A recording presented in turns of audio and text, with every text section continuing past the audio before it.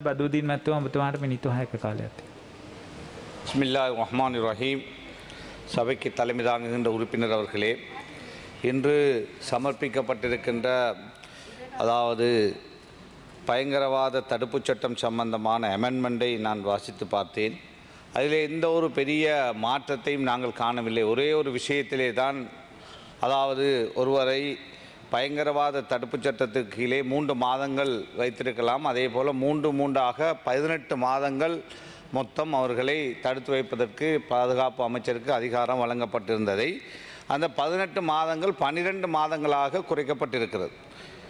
இது மாத்திரம்தான் இங்கே நான் காணுகின்ற ஒரு மாற்று பெரிய மாற்றமாக இருக்கிறது.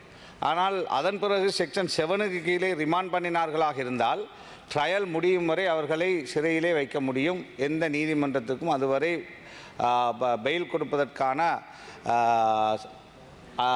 உரிமை கிடையாது. அவ்வாறு தான் அதே பாணியிலே தான் இந்த அமெண்ட்மெண்ட்டிலும் இருக்கின்றது.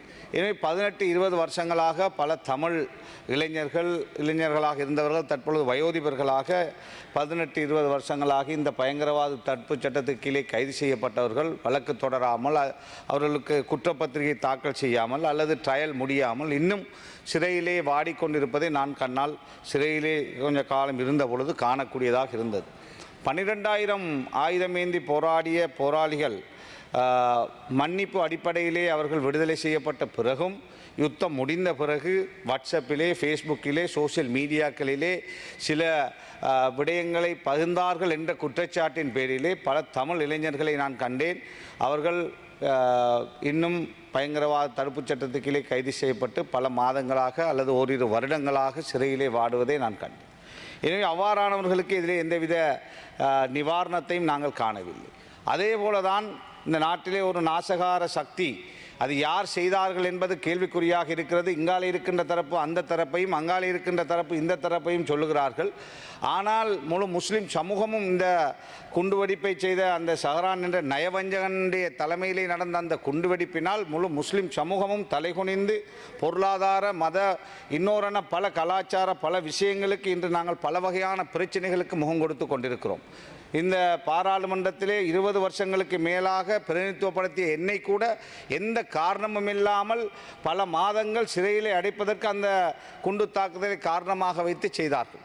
எனவே காரணம் தேவையில்லை. இந்த பிடிஐ இந்த சட்டத்துக்கு யாரையுமே கைது செய்து பல வருடங்கள் பல மாதங்கள் பதினெட்டு மாதங்கள் என்று ஜ பாதுகாப்பு அமைச்சர் நினைத்தால் கையொப்பத்தை விட்டு சந்தேகம் என்று சிறையிலே வைக்கக்கூடிய முறையிலான இந்த சட்டம் தொடர்ந்து கொண்டிருப்பதை பார்க்கின்ற பொழுது மிக வேதனையாக இருக்கிறது.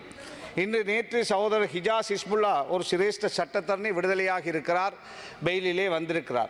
அவரை அவரை குற்றவாளியாக ஆக்க வேண்டும் என்பதற்காக சக்கீல் மௌலவி என்கின்ற கரம்பையைச் சேர்ந்த புத்தளத்தில் இருந்த லுக்மான் மௌலவி என்ற கனமுலையைச் சேர்ந்தவர் வசீர் மௌலவி என்ற கனமுலையைச் சேர்ந்த மூன்று மௌலவிமார் இருபதாயிரம் ரூபாய் சம்பளத்துக்கு கரத்தீவு என்ற ஒரு அரபிக் கல்லூரியிலே கற்பித்துக் கொண்டிருந்தார்கள்.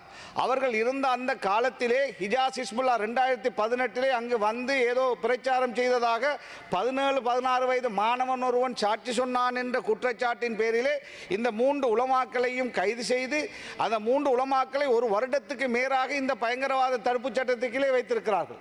இந்த மூன்று பேரிலும் நானும் இருந்த பொழுது அங்கே சிறை அதாவது சிஐடியிலே வைத்திருந்த பொழுது அவர்களிடத்திலே பலவந்தப்படுத்தி கேட்டார்கள் நீங்கள் பொய் சொன்னால் அதாவது ஹிஜாஸ் ஹிஸ்புல்லா இந்த காலத்தில் இங்கே வந்தார் என்று சொன்னால் உடனே உங்களை விடுதலை செய்வோம்.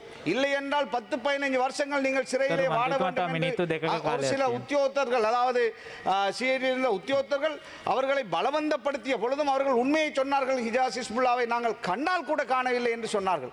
அவ்வாறு சொன்ன உண்மை சொன்னதற்காக பல மாதங்களாக ஒரு வருடத்துக்கு மேலாக அந்த மூன்று மௌலைமாரும் இன்று சிறையில் இருக்கிறார்கள். நன்மையிலே நாங்கள் இவர்கள் ஒருவருடைய ஒருவர் கைது செய்யப்படுகின்றது. பிள்ளை நாலு மாதம் வா- பிள்ளை பிறப்பதற்கு முன்னர் ஒரு ஒருவருடைய மனைவி. இன்னொருவர் பிள்ளை பிறந்து நாலு மாதம். ரெண்டு பேரும் இருபத்தாறு இருபத்தேழு வயதை சார்ந்தவர்கள்.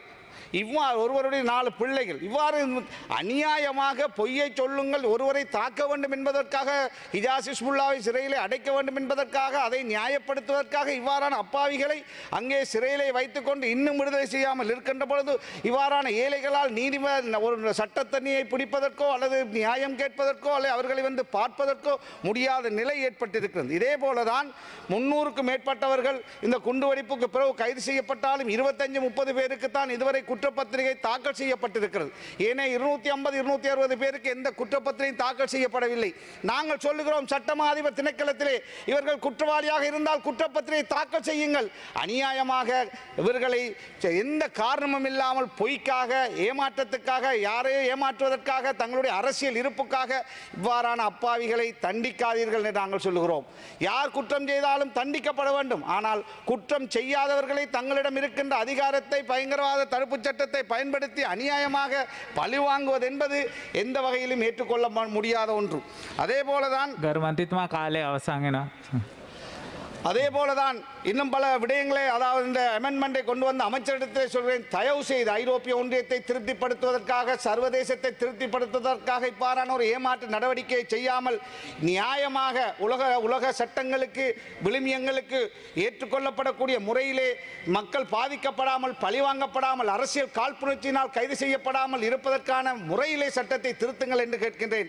ஆசாத் சாலியுடைய கைதும் விடுதலையும் ஒரு நல்ல சான்றாக இருக்கிறது. அதே போலதான் இதிலே இந்த சட்டத்தினால் பாதிக்கப்பட்ட ஒருவன் நான் என்னுடைய சகோதரர் இன்று பலர் அவர்களை பற்றி நான் பேசாவிட்டாலும் அநியாயமாக தமிழ் முஸ்லிம் இளைஞர்கள் இன்றும் சிறையிலே பல வருடங்களாக வாடுகிறார்கள் அத்தனை பேருக்கும் சட்டாதிபா சட்டமா அதிபருக்கு முடியும் பெயில் கொடுக்க முடியும் அவர்களுக்கு கண்டிஷன் பெயிலை கொடுத்துவிட்டு நீங்கள் குற்றப்பத்திரிகைகளை தாக்கல் செய்யுங்கள் அல்லது குற்றப்பத்திரிகைகளை அவசரமாக தாக்கல் செய்து அவர்களை விடுதலை செய்யுங்கள் இன்று அநியாயமாக?